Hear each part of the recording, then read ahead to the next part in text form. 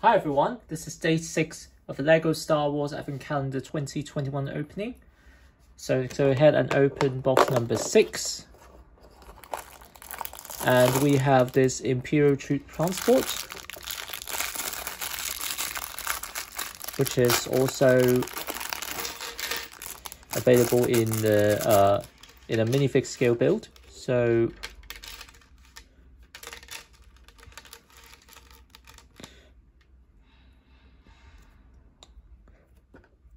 think it looks alright. Again, certainly one of the more intricate builds in this set, I think. And yeah.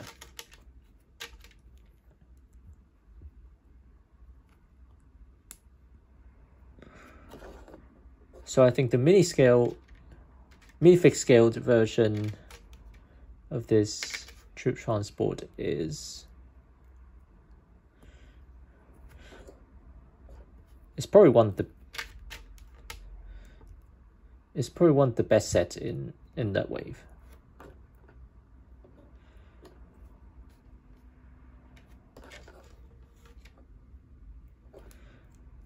I've got it, I, I've built it, and uh, it's a very nice model.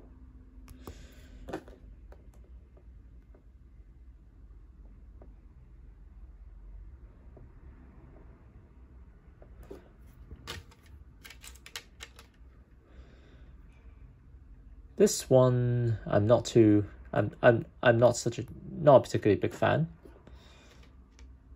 Although I appreciate that they at least tried to do it in a nano scale build.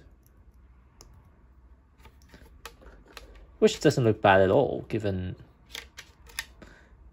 given the constraints. But it's just not very attractive. And that's a fact. It's just how how I suppose most people feel about these nanoscale builds. But still, if you don't have the if you don't want to spend that amount of money on on the troop transport, you just want a representation of it. Uh, I think this is good enough.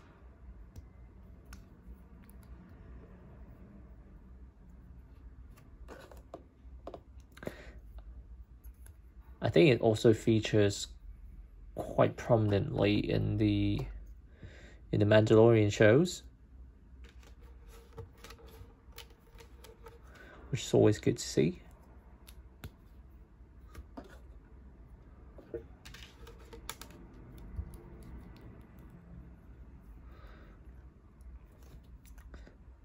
It looks slightly thinner than what you might have expected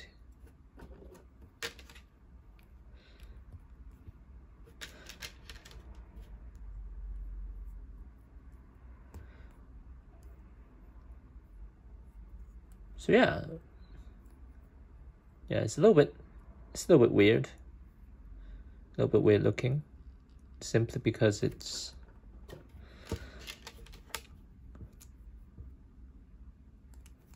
simply because it's just a little bit squashed.